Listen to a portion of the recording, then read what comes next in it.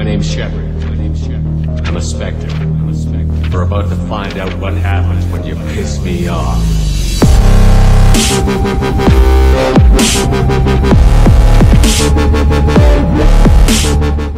YouTube, what's going on? One thing I like about my job is They care. They really do care. Look at this. They even separate the spoons, the forks, and the knives. Bam.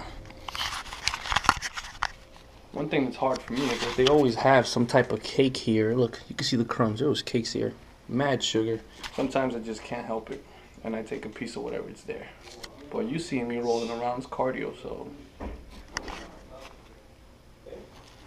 It's hard. I eat one of these every day. Usually they have the wheat bread, but that's two slices of bread with honey and peanut butter.